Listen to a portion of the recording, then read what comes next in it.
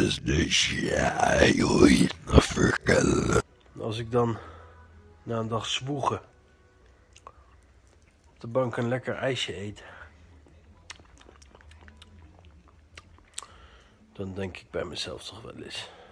Zit ik nou godverdomme lekker vanilleijsje te eten? Eh, Vincent houdt van ijs.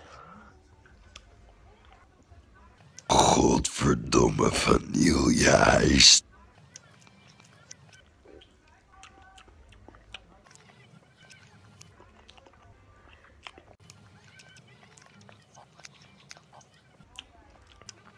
Aardbei.